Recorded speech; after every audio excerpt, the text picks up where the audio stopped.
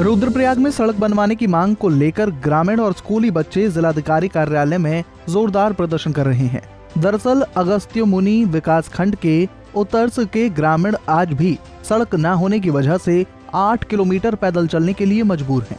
उतरसू गाँव के ग्रामीण लंबे संघर्षों के बाद जिस सड़क का इंतज़ार पिछले 20 सालों से कर रहे थे, उस सड़क का निर्माण कार्य तो शुरू हो चुका है लेकिन वो उतरसू गाँव को जोड़ने के बजाय गाँव के दो किलोमीटर ऊपर से बनाई जा रही है, जिसे देख ग्रामीणों का गुस्सा फूट पड़ा। देश आज़ादी के सत्तर साल बाद और उत्तराखंड राज्य बने हुए बीस साल का समय हो गया है, लेकिन आज भी कई गाँव ऐसे हैं जो सड़कों से महरूम हैं और लगातार लंबे समय से ग्रामीण सड़कों की मांग कर रहे हैं, लेकिन ग्रामीणों की मांग को अभी भी अनसुना किया जा रहा है।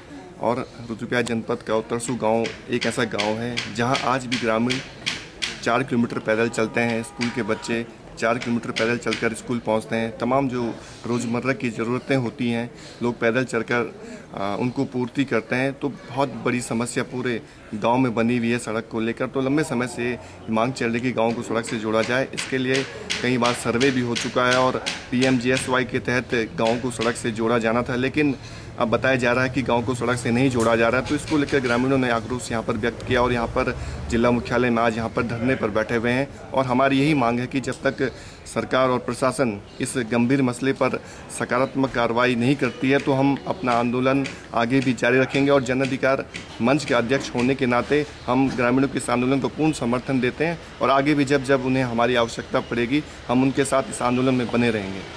देखिए, ये बड़ा दुर्भाग्यपूर्ण मामला है एक लंबे संघर्षों के बाद एक सड़क स्वीकृत होती है।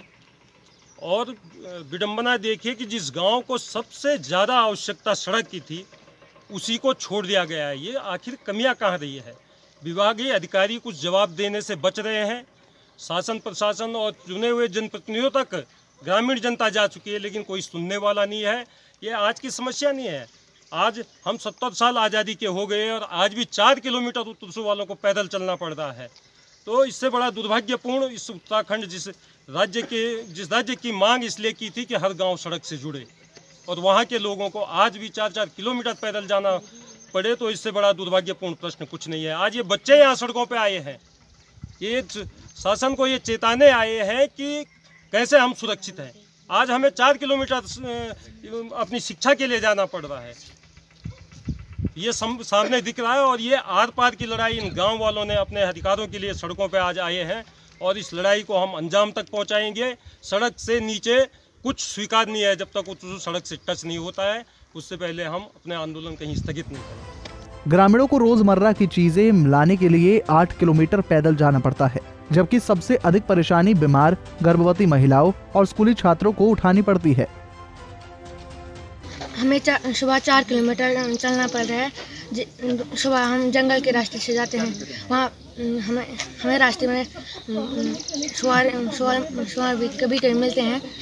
और हम हमें क्लास हमें हमें हमारी कभी कभी क्लास भी छूटती आठ बार सो गया। और हम तो बहुत दिक्कत गो राशन पानी भी। हम तो बहुत दूर पद बाज़ार। हम के तो चौपड़ा जाने के तो चौपता जाने। हम तो माचे से भी चौपड़ा चौपता जान पर। मैं तो साठ बार सो गया, हमारे को आता रोड नहीं हम तो बहुत देखा तो रोड है। हमारी ये प्रधानमंत्री रोड से। वहीं आक्रोशित ग्रामीणों की इस मांग पर जिलाधिकारी मंगेश घिड़ियाल ने कहा कि जो अलाइनमेंट स्वीकृत हो गया, जिसे बदलना संभव नहीं, लेकिन जिला योजना में ग्रामीणों को लिंक मोटर मार्ग से जोड़ा जाएगा।